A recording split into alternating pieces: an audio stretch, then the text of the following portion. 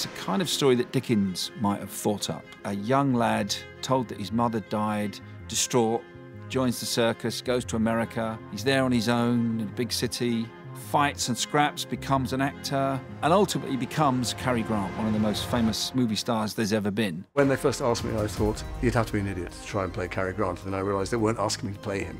He was playing him. Cary Grant was essentially a construct. Inside him was always Archie Leach.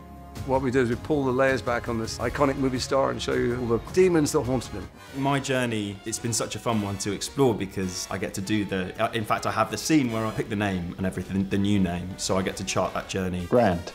Cary Grant. Cary Grant. Okay, that'll do. Tell me about the other women in your life. You're not nobody's pushover, are you? I hope not.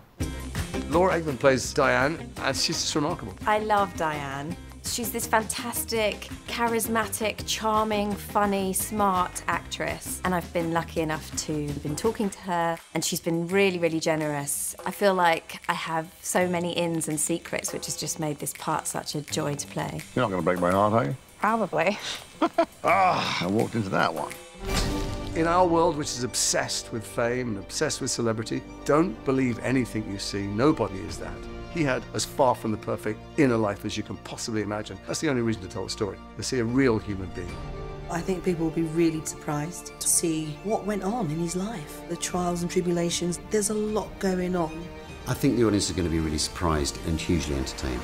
In the end, it's about a little boy and a traumatic childhood that he's trying to escape. He was many, many things, but he was always seeking peace. You'll have to watch the show and find out if he gets any.